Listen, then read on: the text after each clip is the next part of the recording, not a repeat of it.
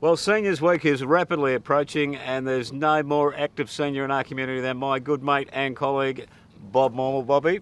I've fallen right smack bang into the demographic, so I can speak with some authority about being a senior.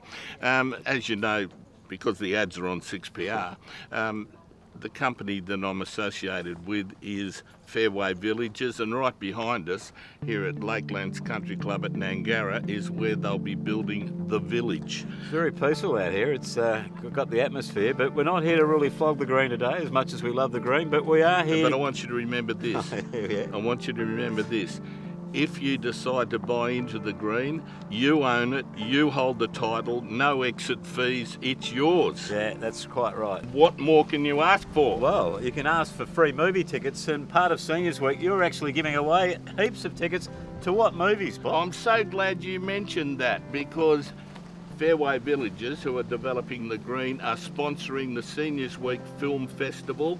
The movies will be shown at Backlot, Backlot Cinemas in West Perth. The first movie will be on October the 29th. It's called Loving Vincent. The artistic work and the troubled life of Vincent van Gogh reminds me of myself. Yes, uh, the second movie, which is the WA movie by Ben Elton, with an ensemble cast of Australian actors. It's called Three Summers. It was shot in and around the Peel and Mandurah area. And by the way, your next question will be, Bob, how do you get tickets? How do I'll you get tickets, Bob? Yeah, I'll tell you.